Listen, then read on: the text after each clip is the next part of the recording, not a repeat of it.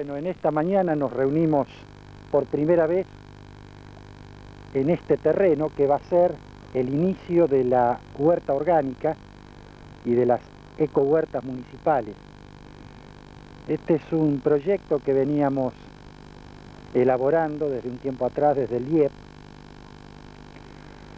y pasado algunos meses pudimos entrar en, una, en un convenio con la Municipalidad de Almirante Brown a través del Departamento de Medio Ambiente y hacer, gracias al apoyo y a la financiación que nos da UNICEF, poder poner en práctica este proyecto de huerta orgánica. Llegué al IEP por un pibe amigo que fue a la escuela y me, contó lo, lo, que era el IEP. Y según como me lo contó, me, me gustó y me anoté en la escuela. Venimos con los chicos del IEP que van a ser los primeros que se van a que van a encarar el trabajo social y el trabajo de campo. En la parte de dirección técnica, dos organismos como el CETAR y el INTA nos darán toda la apoyatura, asesoramiento y dirección correspondiente.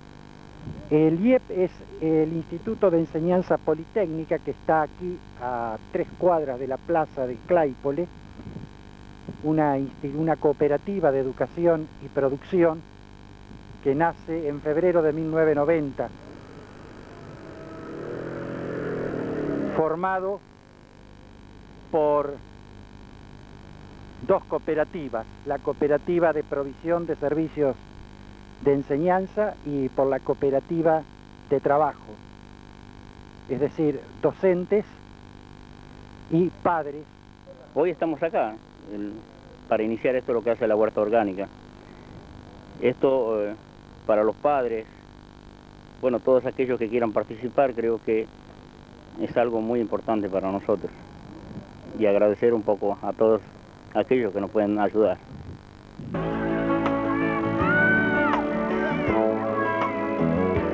There's a place in your heart, and I know that it is love.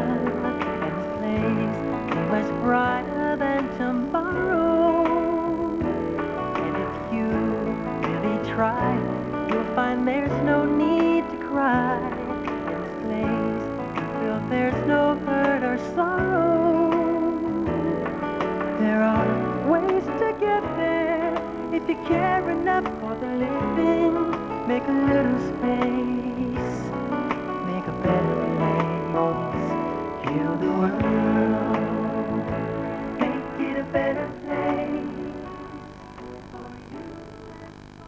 Bueno, nosotros este, de la Municipalidad de Almirante Brón vemos que realmente este es un desafío muy grande por las características este, tanto sociales, agroclimáticas, de, características incluso si ustedes han visto, han dado un pantallazo con la cámara, también habrán visto el terreno. Son terrenos desparejos, donde también tenemos algo de, residuos, de basura.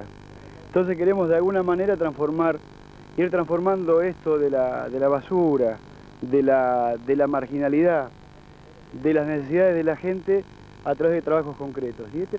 Se va a trabajar con chicos de sexto y séptimo grado, buscando principalmente y de una forma preferencial aquel chico que no tiene alcance, contención y promoción institucional. Es decir, el que más alto nivel de carencia y de riesgo social tiene. A partir de esta semana vamos a comenzar la limpieza y el nivelado del terreno. Quizás sea esta la primera parte de, de desarrollo de la huerta orgánica para después ir ocupando más, eh, más espacio en este predio que, como ustedes verán, más o menos ocupa casi nueve hectáreas, puede ser, Hugo. Casi